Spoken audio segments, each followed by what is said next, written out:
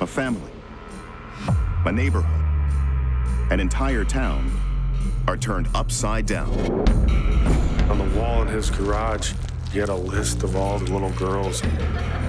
Life in this town, it would never be the same. I did not do this crime. What on earth happened here? Emmy Award winning journalist Tony Harris revisits the scene of the crime. Starts Tuesday, the 18th of July on Investigation Discovery.